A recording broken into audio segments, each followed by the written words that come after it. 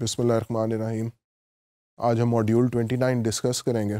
Module 29 है 64 bit file system. अगर हम हिस्टोरिकली देखें तो कुछ ऐसे फ़ाइल सिस्टम थे जो इवन 12 बिट के भी थे, कुछ ऐसे बाद में आए जो कि 32 बिट फ़ाइल सिस्टम है।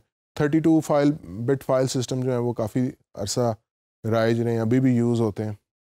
32 बिट फ़ाइल सिस्टम के अंदर जो आपके पास एक फ़ाइल है, उसका maximum size two raise to the power 32 हो सकता है, यानी कि तकरीबन four G B four G B तक की आपकी एक फ़ाइल हो सकती है।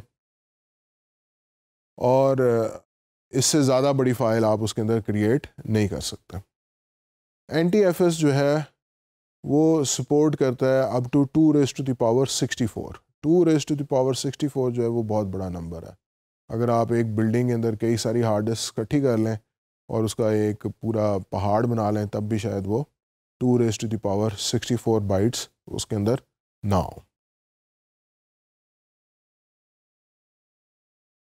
एक लिहाज से देखा जाए तो इस वक्त वो जो two rest part thirty two bit वाला जो फ़ाइल सिस्टम है, वो तकरीबन ऑब्सोलीट है। उसका इतना इस्तेमाल कुछ हद तक है, लेकिन आने वाले वक्त के अंदर, क्योंकि टेक्नोलॉजी जो है वो ग्रो कर रही है, अब आपके पास लार्ज स्पेस वाली डिस्क अवेलेबल हैं, आपके पास ऐसी एप्लीकेशंस भी हैं जिनको बहुत ज़्यादा डेटा की ज़रूरत है तो हमें फ़ोर जी से बड़ी फ़ाइल्स चाहिए हों।